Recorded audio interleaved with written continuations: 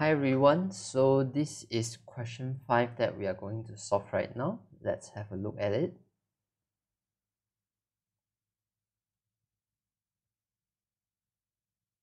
Okay, so it mentions that you have an object of mass 2.1 kg. So the mass is 2.1 kg. Let's just write it down here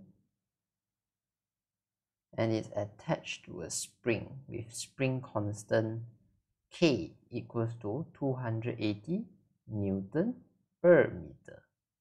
Okay, and it's undergoing SHM, simple harmonic motion.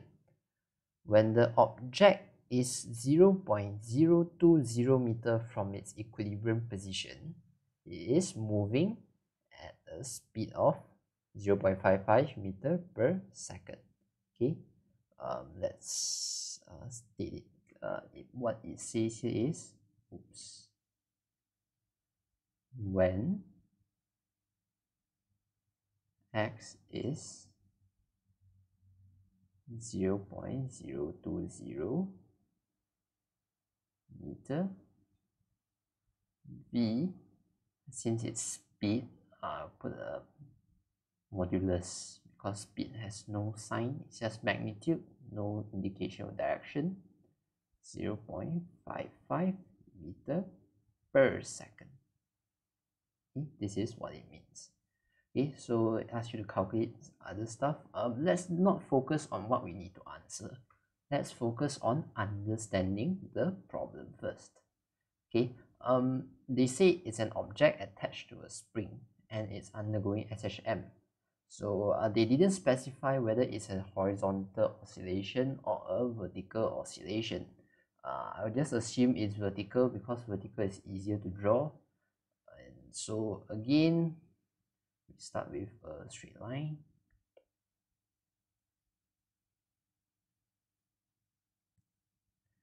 Okay, so for this situation, we have the object okay my object is here and it's oscillating as time passes. Okay again a rough sketch only yeah don't take it so seriously. Okay so it's undergoing an oscillation. So this is one complete oscillation. And it says the, the the sentence which is more complicated is this. When x is equal to 0 0.020 meter the speed is 0.55 meter per second.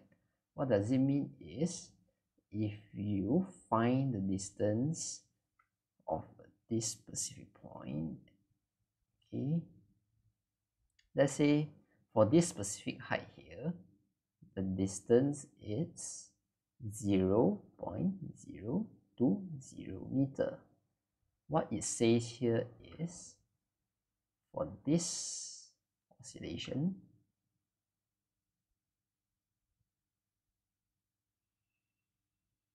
this is my oscillation. At this particular height and at this particular height you will find that let me write it here. At these two particular height I'll label it as the dot here we will see that the speed is equal to 0 0.55 meter per second. Okay. Um they didn't really specify whether it's uh, 0 0.020 meter upwards or downwards. So i think for this situation uh, it's it's reasonable for us to consider these two position as well. Okay. As long as the distance is 0 0.020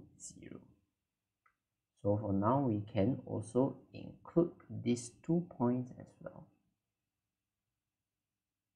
So for these four points the speed will be 0 0.55 meter per second. Again i mentioned i want to emphasize that we are talking about speed. So we don't label it positive or negative. Technically uh, if you want to be pedantic you want to look at the velocity then the velocity here should be positive because it's moving upwards the velocity here should be negative because it's moving downwards. Here is negative because it's moving downwards. Here is positive because it's moving upwards back to the equilibrium position. But now we are talking about speed. We don't talk about direction. So there's no positive negative sign to consider here. Okay? So I'll just write again to be very very clear. This is speed. So it's magnitude only. Okay so once we are clear with the situation I think it's okay for us to start solving the question. The question asks for the amplitude of the motion.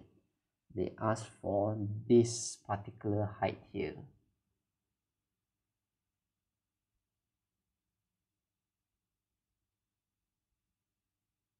This is your amplitude so you probably need something. They they give you information of a specific when you are at a specific x you have a specific speed. And now from these two information you need to relate it to find the amplitude. I think you are i think you think you will get what i'm trying to hint here. You probably use a formula that link these three things together. And okay uh, if you look into your formula sheet there will be this formula that links up v a and x. Okay so from here you you are given the uh, the speed. Okay you are given the magnitude you are given the speed. You are given the displacement. You want to find this but you also have one thing that you're not you are not sure about. Hmm how do you get this omega here? How do you get angular velocity? Well um if you if you have heard the previous few videos you learn that uh, if you get one of this you get you can basically get omega. So do we have t here? Do we have capital t? I don't think so do you have frequency? I don't think so as well. So this thing does not work here yet. So we need another strategy. From the previous video previous few video i also explained how you can relate between a equals to negative omega square x the definition for SHM and something you derive using the spring mass system. And from there we did a bit of comparison. And we figure out that omega square is equals to k over m. So this is another way of relating omega to some other stuff. In this case is k the force constant or the spring constant if it's a spring mass system we call it spring constant if it's other SHM system we call k the force constant and m the mass the object mass. Well they give you the mass they give you the spring constant. Seems like this is our way forward. So what we can do here is v is equals to plus minus k square root k over m okay? It's not omega square here it's omega. So we do square root it. Then you have your a square minus x square okay? So things are looking fine here. You have k you have m you have v you have x. So we are left with a that you need to find. But a little bit need to be a bit careful here. There's a plus minus sign here the plus minus sign here is actually indicating direction. But what you are given here is speed. You are not given the velocity. So you actually don't have information about the direction at all. So what I recommend you to do is to modulus the whole thing. You modulus the whole thing because you want to know the magnitude only. So in this case your equation will be v magnitude which is speed equals to km a square minus x square. Now it's a bit more mathematically accurate to continue and solve the problem. So now it's the matter of substitution. The speed is 0 0.55 meter per second. The force constant or the spring constant is 280 the mass is 2.1 kg. You, you want to find your amplitude so if it has a capital a minus the specific displacement here is 0 0.020 square. Okay? Um i'll skip all the maths. There's only one symbol left so you are a bit of mathematical and manipulation you should be able to get the amplitude as 0 0.052 meter. Okay so that's the amplitude for this simple harmonic motion.